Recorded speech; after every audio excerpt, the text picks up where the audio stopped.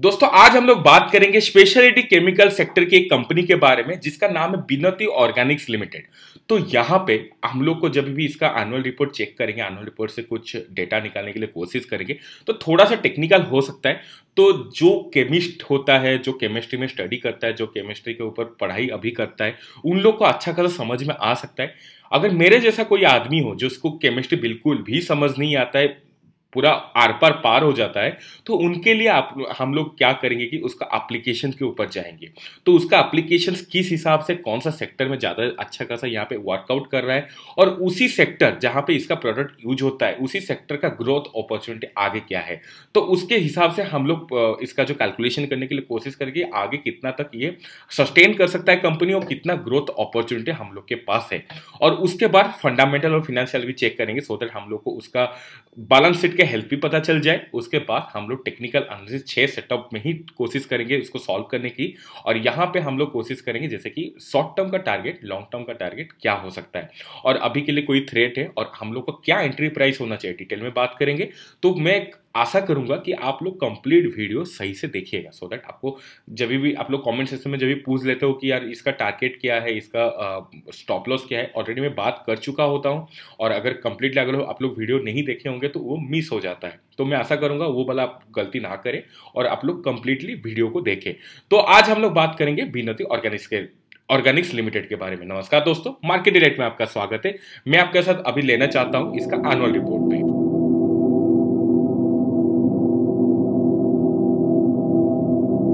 तो सबसे पहले जैसे कि आप लोग को आ, मैं बताया कि काफ़ी टेक्निकल चीज़ है और यहाँ पे जो स्पेशलिटी मोनोमर्स है यहाँ पे जो यहाँ पे लिखा हुआ है आप लोग देख सकते हो करेक्ट और यहाँ पे अगर देखा जाए कि इसका मार्केट शेयर 50 परसेंट से ज़्यादा है राइट? और इसका जो रेवेन्यू जो जनरेट करता है बिनती ऑर्गेनिक्स उसका रेवेन्यू में भी ये 50 परसेंट से ज़्यादा कंट्रीब्यूट करता है। अगर यहाँ पे आप लोग प्रोडक्ट का नाम देखोगे तो काफ़ी लंबा नाम दिखेगा और ए जो है, ये वाला जो चीज़ है, ये सबसे बड़ा इसका आप लोग बोल सकते हो कि इसका जो यूएसपी है दैट इज़ ए है। और ये ए जैसे कि बाहर से एक्सपोर्ट होता था, उसको अभी एक्सपोर्ट बंद करके सीधा, अभी खुद ये मैन्युफैक्चर कर रहा है। ऑलरेडी बहुत अच्छा खासा डिमांड है। कहाँ पे डिमांड है, वो भी मैं बता देता हूँ। कंस्ट्रक्शन में हो गया वाटर ट्रीटमेंट पे हो गया टेक्सटाइल पे हो गया आडेसिव में हो गया पेंट पे हो गया पेपर कोटिंग पे हो गया। हर एक चीज़ एक आप आप लोग को आगे के समय में एक अच्छा खासा ग्रोथ अपॉर्चुनिटी दिख सकता है, ये ऑलरेडी आप लोग को पता चल गया होगा राइट और उसके ऊपर अगर बात, अगर बाकी जो प्रोडक्ट है उसका अगर यूज़ के ऊपर बात करें एप्लीकेशन के ऊपर बात करें तो पर्सनल केयर देख सकते हो आप लोग मेटाल देख सकते हो, या आपको ये जो क्या लिखा हुआ है, मेरे को समझ में भी नहीं आता है एंटी स्कलेंट्स ओके तो उसके हिसाब से देखा जाए तो सबके सब ग्रोथ अपॉर्चुनिटी के साथ इसका एप्लीकेशन है तो इसी सेक्टर में, इसी सेगमेंट में, इसी प्रोडक्ट में काफ़ी अच्छा खासा इंप्रूव हो सकता है, ये हम लोग को समझ में आ रहा है राइट जो सेकेंड हो गया आईबीबी और एनबीबी जो सेकेंड वाला जो प्रोडक्ट टाइप हो गया, जिसको बोलते हैं स्पेशलिटी आरोमेटिक्स करेक्ट तो इसका जो यूज़ है फार्माटिकल हो गया स्पेशलिटी सॉल्वेंट हो गया या पेंट कोटिंग्स और एग्रोकेमिकल्स में इसका यूज़ होता है। तो ये जो तीन से चार सेक्टर में बताया, इसका भी अच्छा खासा आप लोग का ग्रोथ अपॉर्चुनिटी दिख सकता है ऑलरेडी आप लोग को ऑलरेडी पता है। तो हम लोग को जिस हिसाब से इसका प्रोडक्ट के नाम के बारे में नॉलेज नहीं है, इसका आज पर द एप्लीकेशन आप लोग को उसके हिसाब से आपको प्रेडिक्शन लगाना ज़्यादा सही रहेगा। और जैसे कि अदर स्पेशलिटी केमिकल्स प्रोडक्ट हो गया, जैसे कि इसका जो आईबी हो गया या एच पी बी हो गया जो टोटल का अगर बात किया जाए तो उसका भी एप्लीकेशन आप लोग को फार्मा सॉल्वेंसी पेंटिंग कोटिंग या रबर के ऊपर देख सकते हो। पर्सनल केयर में भी अच्छा खासा है और पीवीसी स्टेबिलाइजर्स के साथ भी है। और बाकी जो पॉलीमर्स है छोटा मोटा उसका बहुत छोटा सा रेवेन्यू हिस्सा है। लेकिन इसका जो एप्लीकेशन देखेंगे, वो भी वाइड रेंज में है। तो इतना वाइड रेंज में अगर इसका प्रोडक्ट यूज़ होता है तो डिमांड तो इतना जल्दी घटने वाला है नहीं। उल्टा आगे बहुत ही ज़्यादा बढ़ सकता है और इसके हिसाब से आप लोगों को कंपनी का सस्टेनेबिलिटी तो ठीक ठाक है। उसके साथ साथ इसका ग्रोथ ग्रोथ का ऊपर भी आप लोग फोकस ज़्यादा करना चाहिए। जिस हिसाब से यहाँ पे ट्रेडिंग कर रहा है ये कंपनी तो उसके हिसाब से आप लोग को काफ़ी आप लोग बोल सकते हो कि एक बार पोर्टफोलियो में स्टॉक तो बिल्कुल भी होनी चाहिए। और यहाँ पे अगर इसका जो फिनेंशियल हाइलाइट्स के ऊपर देखा जाए तो यहाँ पे आप लोग को दिखेगा कि एफ़ वाई नाइनटीन के हिसाब से रेवेन्यू थोड़ा सा घटा हुआ है। और यहाँ पे अगर देखा जाए तो 2016 से 2019 तक अच्छा खासा ग्रोथ दिखाया हुआ था। लेकिन 20 में यहाँ पे थोड़ा सा घटा हुआ है। रीजन तो ऑलरेडी आप लोग को पता ही है क्या सिचुएशन था। और यहाँ पे इबिट्टा के ऊपर बात किया जाए तो इबिट्टा थोड़ा बहुत बढ़ा हुआ है एफ़ वाई ट्वेंटी में, जो कि काफ़ी समझदारी की बात है, काफ़ी तारीफे वाली बात है। और इबिट्टा मार्जिन के हिसाब से बात किया जाए, इसको तो आप लोग बिना तारीफ़ हुए मतलब रह नहीं सकते। 43 परसेंट का मार्जिन यहाँ पे इबिट्टा का इबिट्टा मार्जिन शो कर रहा है। और आर काफ़ी इंप्रेसिव है, काफ़ी ज़्यादा इंप्रेसिव है एक्चुअली 16 से 18 जितना तक घटा हुआ था, उसके बाद 19 में बहुत अच्छा खासा बढ़ा हुआ है। और एफ़ आई ट्वेंटी और एफ़ आई नाइनटीन के बीच में अगर आप लोग कंपेयर करोगे तो छोटा सा एक गिरावट दिखेगा। लेकिन आप आप लोग का अगर बात किया जाए कि इतना ज़्यादा जो आर को इम्प्रूव करना, ये मैनेजमेंट का एक अच्छा खासा साइड अच्छा खासा यूटिलाइजेशन ऑफ़ द रिसोर्स यहाँ पे शो कर पा रहा है। प्रॉफिट मार्जिन के ऊपर बात किया जाए, वो भी बढ़ा हुआ है 2020 में। और जो प्रॉफिट आफ्टर टैक्स के ऊपर बात किया जाए, इन लाख्स में, वो भी अच्छा खासा आप लोग को बढ़ते हुए देखने के लिए मिलेगा। और यहाँ पे अगर बात किया जाए फंडामेंटल एनालिसिस की, जैसे कि thirteen thousand five hundred eighty eight crore का मार्केट कैपिटलाइजेशन है मिड कैप कंपनी है राइट और यहाँ पे आर के ऊपर बात किया जाए तो यहाँ पे thirty six point four percent के हिसाब से दिखेगा। जैसे कि हम लोग एनुअल रिपोर्ट में देख चुके हैं। अगर पीएस कंपेरिजन किया जाए केमिकल्स के ऊपर तो यहाँ पे आर का जो अगर स्ट्रॉन्ग सबसे दिखेगा दैट इज़ बिनती ऑर्गेनिक्स का। और इसी के साथ साथ अगर पी कंपेरिजन किया जाए तो बाकी सबके हिसाब से थोड़ा सा ज़्यादा दिखेगा। खाली सबसे ज़्यादा अगर देखा जाए तो आप लोग को मिल जाएगा पिडिलाइट इंडस्ट्रीज़ का। काफ़ी हायर वैल्यूएशन पे ये काम कर रहा है और उसका पी भी आर भी काफ़ी अच्छा खासा है। तो उसके हिसाब से कंपेयर किया जाए, अगर सेकेंड में आ जाता है दैट इज़ बिनती ऑर्गेनिक्स तो बिनती ऑर्गेनिक्स को आप लोग को इसका जो जिस हिसाब से पी है तो थोड़ा सा ओवर वैल्यू मेरे को लगता है तो आप लोग को थोड़ा सा वेट कर जाना ज़्यादा चाहिए ओके और कौन सा लेवल तक वेट करना चाहिए, कौन सा लेवल में एंट्री करना है, वो तो हम लोग को टेक्निकल एनालिसिस पे पता चलेगा। तो तब तक आप लोग को वेट कीजिए, तब तक हम लोग इसका प्रॉफिट लॉस स्टेटमेंट देख लेते हैं। तो प्रॉफिट लॉस अगर लंबा टाइम के लिए अगर आप लोग देखोगे तो कंसिस्टेंटली ग्रो होता हुआ देखने के लिए मिलेगा। कहीं पर भी आप लोग को कोई भी फ्लक्चुएशन नहीं देखने के लिए मिलेगा।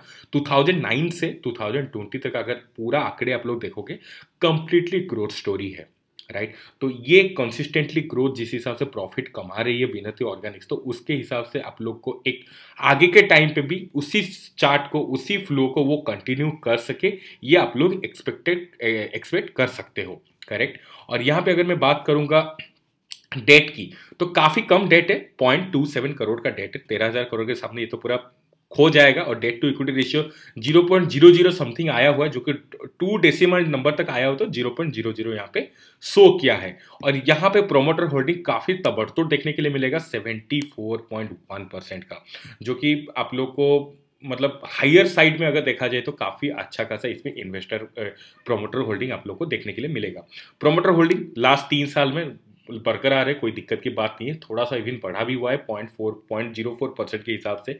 डी अपना जो हेल्डिंग है होल्डिंग है, उसको भी बढ़ाए हुए हैं और एफआई भी अपना जो होल्डिंग है, उसको भी बढ़ाए हुए हैं। और पब्लिक का होल्डिंग जो है, उसमें भी थोड़ा सा फ्लक्चुएशन आया हुआ है। छोटा सा अमाउंट यहाँ पे बढ़ते हुए नज़र आएगा राइट और यहाँ पे सबका सब तो यहाँ पे बढ़ा हुआ है जो आप लोग बोल सकते हो कि स्टेक होल्डिंग तो घटा किसका है? तो आप लोग देख सकते हो गवर्नमेंट का जो यहाँ पे होल्डिंग था वन पॉइंट ज़ीरो नाइन वो ट्रांसफ़र बाकी सब में हो चुका है।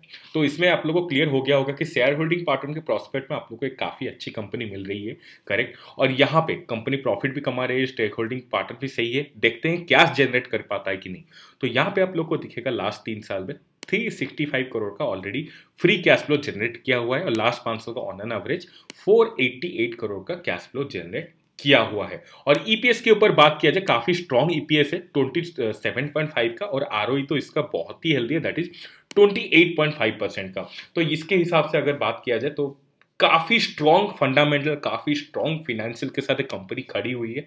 उसके साथ अभी अगर मिड कैप में ये आप लोग देख रहे हो, ये शायद लार्ज कैप और हायर लार्ज कैप सेगमेंट में एंटर कर सकता है अगले कुछ साल में। इसका टेक्निकल क्या बोल रहा है, थोड़ा एक बार देख लेते हैं सो so दैट हम लोग का जो शॉर्ट टर्म टारगेट है, उसके ऊपर इसका मैच आ सके। लंबा कंसोलिडेशन हुआ था, उसके बाद अच्छा खासा ब्रेकआउट भी आप लोग देख पाओगे।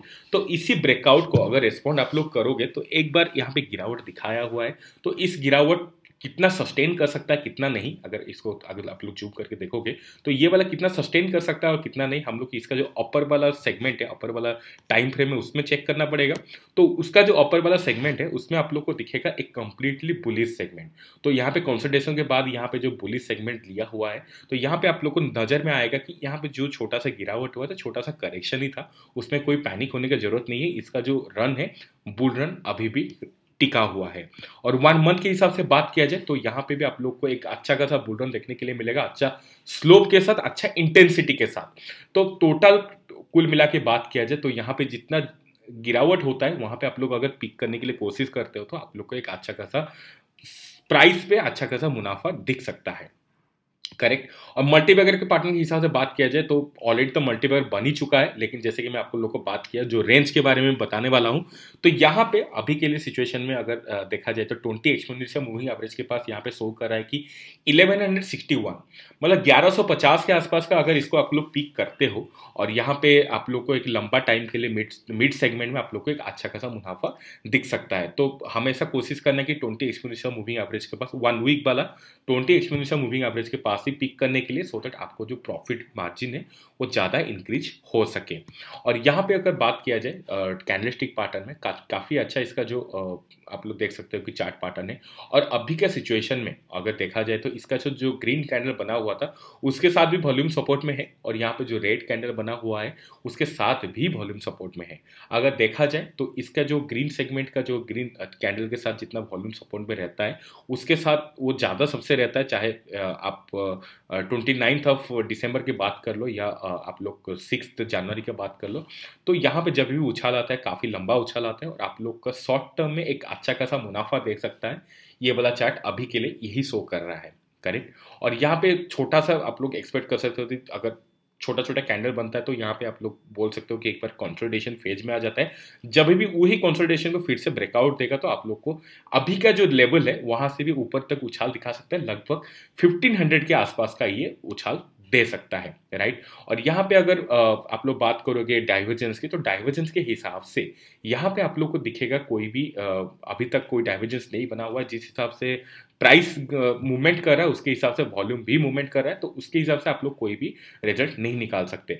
सबसे इंटरेस्टिंग बात है निफ्टी के साथ कोरिलेशन तो निफ्टी के साथ जो कोरिलेशन है, आप लोग को दिखेगा minus zero point zero two तो minus zero point zero two मतलब निफ्टी कहीं पे भी भाग जाए, इसको कोई फ़र्क नहीं पड़ने वाला। आप लोग आराम से बिनती ऑर्गेनिक्स के साथ जुड़े रहिए सो दैट आप निफ्टी कहीं पे भी जाए, ऊपर जाए, नीचे जाए, उसको कोई फ़र्क नहीं पड़ने वाला। ये अपने जगह अपने रास्ते में जाएगा निफ्टी अपने रास्ते में जाएगा। करेक्ट और यहाँ पे जो हाइकेंस स्टॉकेस्टिक आर में आप लोग को दिख गया होगा कि वन डे चार्ट में ऑलरेडी ओवरबॉट जोन शो कर रहा है आपका स्टॉकेस्टिक आर तो उसके हिसाब से यहाँ पे ऑलरेडी बहुत ज़्यादा बाइंग हो चुका है, आप लोगों को दिख भी रहा है, लेकिन कोई भी अभी तक सेलिंग सिग्नल नहीं आया हुआ है।